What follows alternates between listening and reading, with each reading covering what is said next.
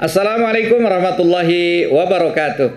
Alhamdulillahirabbil alamin wassalatu wassalamu ala asyrafil anbiya'i wal mursalin sayyidina wa habibina wa syafi'ina wa maulana Muhammadin wa ala alihi wa sahbihi ajma'in. Amma ba'du. Saya Ahmad Syaihu, Presiden Partai Keadilan Sejahtera mengucapkan selamat dan sukses hari jadi Kabupaten Bangkalan yang ke-490 bersama pemerintah, ulama dan masyarakat menuju Bangkalan sejahtera. Meleplotan ke Pasar Konang, pajuh satalam pas entar mole. Toreh tretan agandeng tanang menuju Bangkalan selangkung sae. Selamat dan sukses. Assalamualaikum warahmatullahi wabarakatuh.